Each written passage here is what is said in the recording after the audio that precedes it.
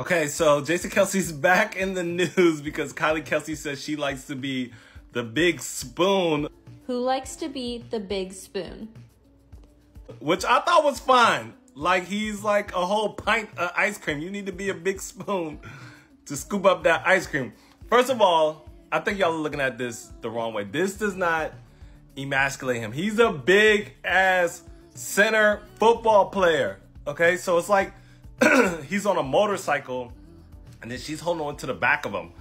It's not like he's like curled up in a little ball, like, oh my god, hold me, Kylie.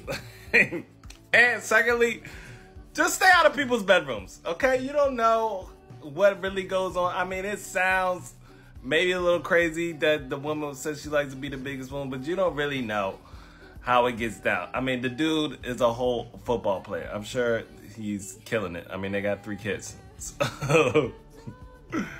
She just like remember the Sopranos?